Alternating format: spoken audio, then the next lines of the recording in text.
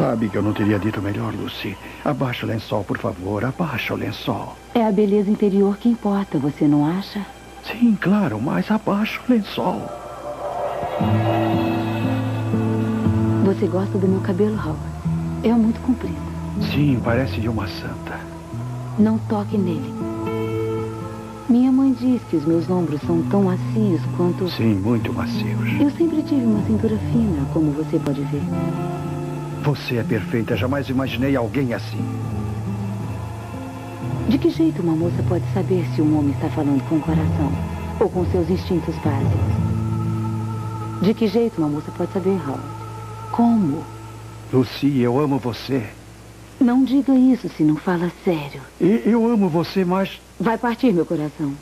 Vai fazer o que quiser comigo e depois vai largar a sua pobre Lucy na luz fria do dia. Assim como... Eu amaria você para sempre. E me honraria? Claro que sim. Me respeitaria? Claro.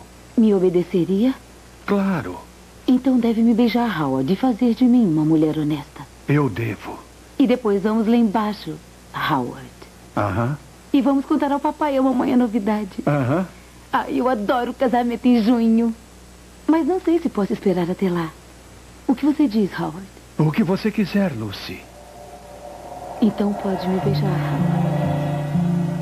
Mas não pode me tocar. Um beijo. Um beijo gentil e carinhoso.